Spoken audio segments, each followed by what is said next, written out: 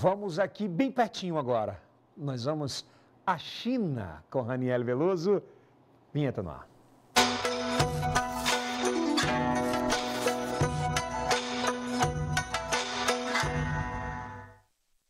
Confesso que eu estava morrendo de saudades de chamar Rani Veloso, que antes era musa de Brasília, agora é a musa da Ásia. Bom dia!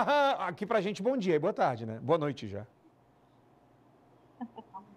Boa tarde, Elton. Aqui são 5 horas e 44 minutos. Estamos chegando à noite aqui em Pequim. Bom dia para todos vocês aí no Brasil. Eu também estava com saudade de participar do Bom Dia Meio Não. Ô, Rani, antes de você trazer as informações, não só eu, mas o Pangaré principalmente, está é, tá muito curioso como é que está sendo sua alimentação, como é que é essa virada de rotina, como é que é essa virada na sua vida aí, como foram as primeiras impressões?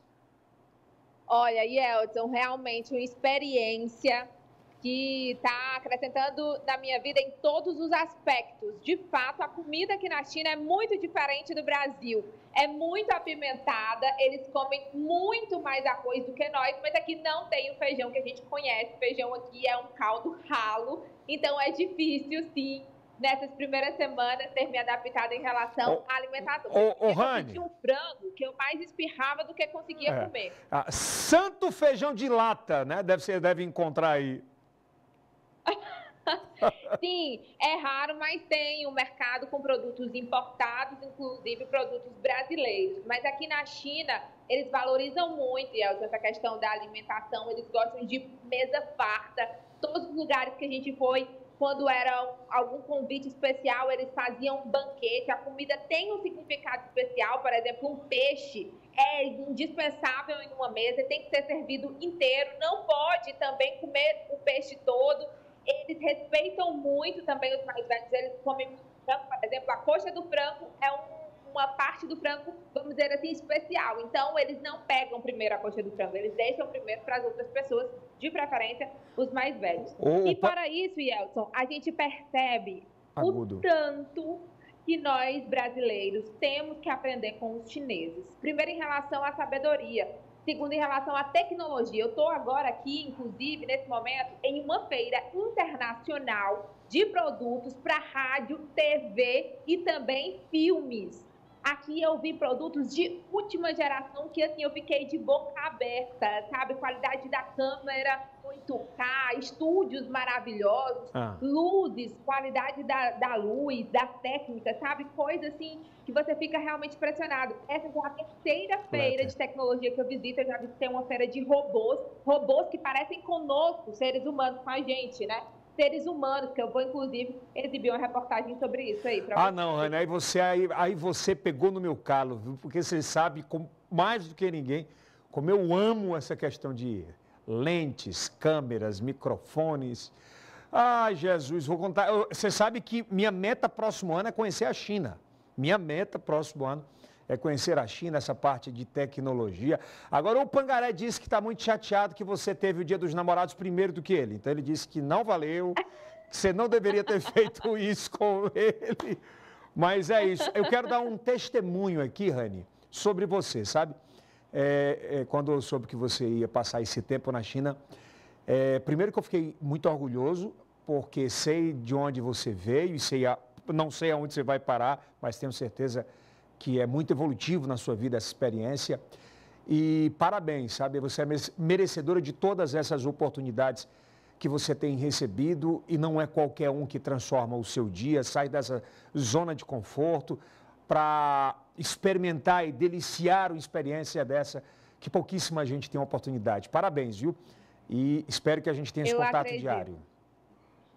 Claro, todos os dias estarei aqui no Bom Dia. A gente demorou um pouco a entrar ao vivo causa de um problema técnico. Mas esse tempo todo eu estava produzindo, está indo ao ar, reportagens especiais. Inclusive, eu espero mostrar aqui no Bom Dia Meio Norte essa feira que eu vim visitar hoje, a Feira dos Robôs também, já que você gosta. E eu sei do seu carinho por mim. E, de fato, é uma oportunidade incrível. Imagina, o Brasil do tamanho que é, somente eu e outro jornalista fomos escolhidos para estar aqui, recebemos esse convite. E da América Latina, né, somente um de cada país. Só é uma jornalista da Argentina, uma do Chile.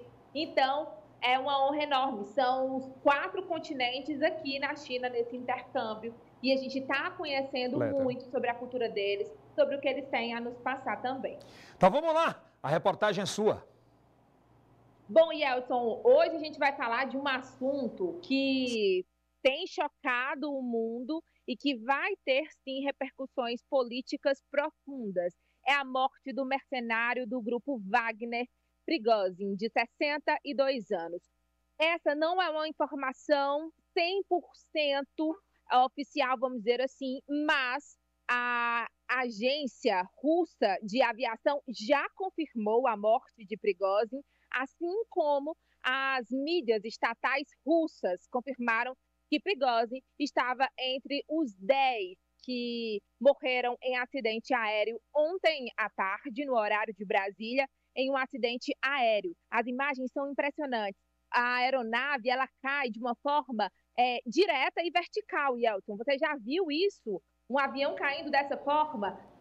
Ainda não se sabe o motivo da queda do avião, mas há suspeita, inclusive imagens circulam pelas redes sociais, de que é, a defesa russa, né, os militares russos possam estar envolvidos com isso, mas isso não é informação oficial também. A gente lembra que há dois meses os mercenários do grupo Wagner eles invadiram, ocuparam uma cidade ao sul da Rússia é, nessa tentativa de se rebelar contra o governo russo. E Vladimir Putin, na época, o presidente da Rússia, chamou Prigozhin, que era seu aliado, de traidor. Eles fizeram um acordo de paz para não é, ter derramamento de sangue. Prigozhin tinha que ir para Belarus e há dois dias ele apareceu pela primeira vez depois desse conflito entre Vladimir Putin em um vídeo na África. E agora essa informação de que ele teria saído é, de, São, de Moscou em direção a São Petersburgo e no meio do caminho essa aeronave foi atingida e caiu.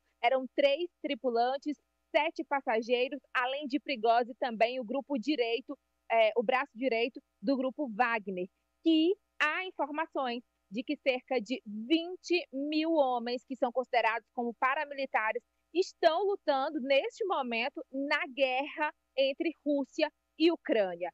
E só vale lembrar também, Elton, que o dia 23 de agosto foi a data desse acidente é uma data marcante para a Rússia. Outras batalhas importantes ocorreram exatamente nessa data, exatamente quando completou dois meses dessa, desse motim do grupo Wagner contra Vladimir Putin. É. Lembrando que Putin não só incentivou, como financiou né, esse que era um líder, vamos dizer assim, dessa milícia e o feitiço virou contra o feiticeiro, né, Rani? É assim que funciona. Exatamente, Elton. E os especialistas em cenário geopolítico, cenário internacional, eles interpretam esse fato é, como uma, um possível envolvimento uhum. de Putin, porque, de fato, Putin, em 23 anos de comando da Rússia, nunca tinha sido atingido da forma que ele foi atingido há dois meses, quando eles é, lideraram essa, esse motim, e, portanto, é, essa teria sido uma reação. Mas, como eu disse, Perfeito. não há nenhuma confirmação oficial sobre o envolvimento dele. E, enquanto isso, Yelson, só lembrando também, a Rússia faz parte, falando do cenário internacional, a Rússia faz parte do bloco BRICS, que é formado pelo Brasil Bloco Econômico, que nesse momento na África do Sul está encerrando a 15ª cúpula Brasil, Rússia, Índia, China e África do Sul. Eles estão encerrando esse encontro, essa cúpula, e vão anunciar oficialmente, ainda hoje, a entrada de mais cinco países ao bloco econômico. Dentre eles, a Argentina, nossa vizinha, uhum. e também a Arábia Saudita, dois países que Lula defendeu a entrada. Além disso, eles também conversam sobre a criação de uma moeda única nas ações econômicas entre esses países do bloco. Perfeito. Para a China, que eu estou aqui na China, é muito importante porque eles procuram aliados é. neste momento que a gente entende né, de conflito com os Estados Unidos. Amanhã eu quero ver esses robôs, essas câmeras, essas lentes, esses microfones e o Pangaré está pedindo que você não esqueça o imã de geladeira dele da China, por gentileza. Pode deixar, amanhã vocês vão, vão ver aqui a reportagem completa.